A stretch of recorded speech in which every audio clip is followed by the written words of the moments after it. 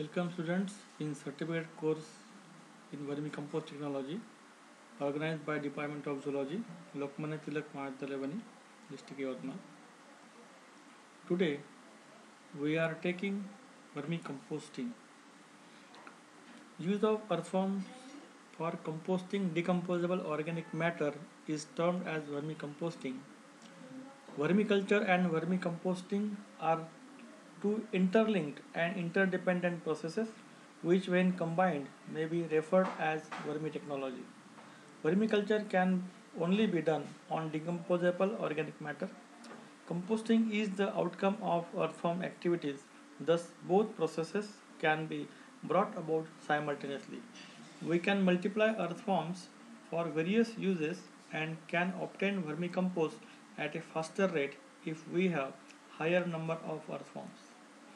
Then there are some advantages of vermicomposting. These are huge quantities of domestic, agricultural and rural industrial organic waste can be recycled which ultimately reduces pollution by substituting certain percent of chemical fertilizer with the vermicompost economic input would be go down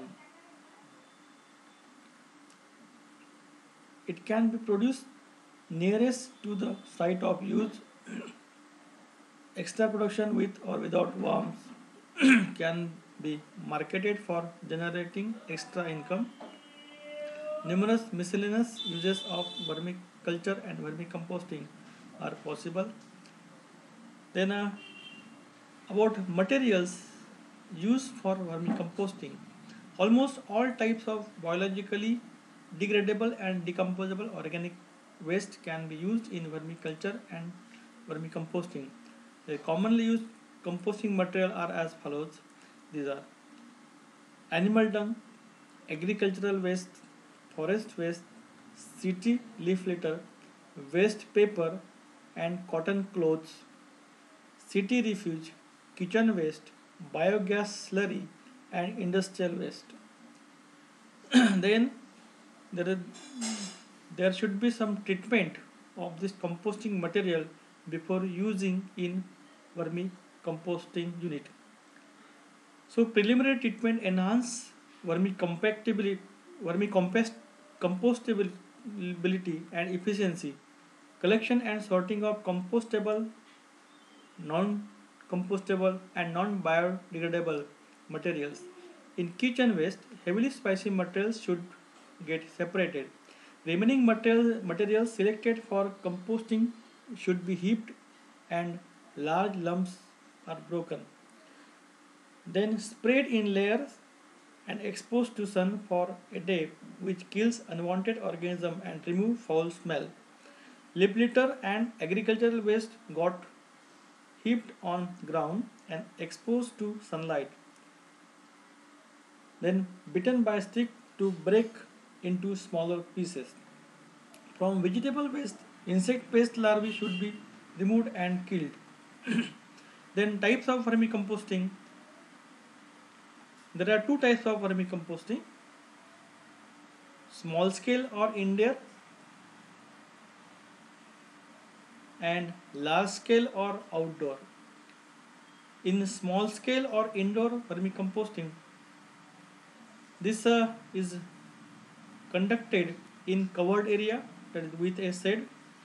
It is preferred and recommended for areas where protection from climatic factors and predators like ants, rodents and birds are abundant. Then large scale or outdoor vermicomposting is of two types. One, simple promotion of vermic activity in field after harvesting crop and secondly, large scale commercialized vermicomposting in open heaps. Then uh, there are some requirement for vermicomposting.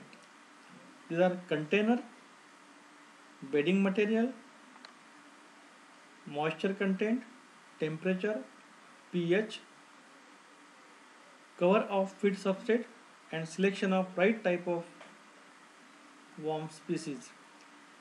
About container, container of any shape or size and depends upon quantity of waste to be composted and number of live earthworms we want to culture. Then bedding material. It is the lowermost layer of earthworm feed that is required to be vermicomposted. Any biodegradable matter like banana stem peel, crop stems, grass, discarded cattle feed may be used as a bedding material. Then moisture content. Moisture content maintained between 30 to 40 percent. Then temperature range for optimal results 20 to 30 degrees Celsius temperature is required. Then pH of substrate should be between 6.8 to 7.5. The cover of feed substrate is required for reducing moisture loss and also save from extra movement or from predators. Moist gunny bags generally used. Then selection of right type of worm species. This uh, selected worm should be having good survival in high organic matter, then a high conversion rate, then high temperature and pressure tolerance and high reproduction rate. then a fit, fit for earthworms Earthworms are consumer of decomposing organic matter. So, variety of matters as earthworm feed can be used. However, efficiency and survival would depend upon various factors. Broadly, following combinations are good for most species of earthworms used in vermiculture and vermicomposting. That are number one, cow dung minimum of 7 days, then cow dung plus sheep droppings plus horse dung mixed in equal quantities. Then cow dung or mixed dung plus rice bran 10 is to 3 proportion. Then cow dung or mixed dung plus wheat bran in 10 is to 3 proportion. Then cow dung plus mixed dung plus gram bran 10 is to 3 proportion then cow dung or mixed dung plus vegetable waste in 3 in 10 is to 3 ratio then cow dung or mixed dung plus agricultural waste in 10 is to 3 ratio then cow dung or mixed dung plus sewage sludge in 10 is to 3 ratio then cow dung or mixed dung plus kitchen waste in 10 is to 3 ratio then cow dung or mixed dung plus semi-crushed leaf litter in 10 is to 3 ratio. Then biogas slurry plus some leaf litter plus soil. Then only agricultural waste or sewage sludge or kitchen waste or leaf litter or their mixtures. Then there is some standard diet given by Professor R.D. Kale comprises cow or mixed dung plus gram bran plus wheat bran plus vegetable waste in 10 is to 1 is to 1 is to 1 proportion plus some powdered egg cells. Then uh, any of the above material combinations can be taken up. These are thoroughly mixed with turning, upturning with a spade to mix.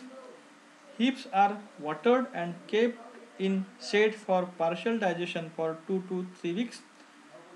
Then it is beaten to break lumps and used as feed for earthworms. Thank you very much.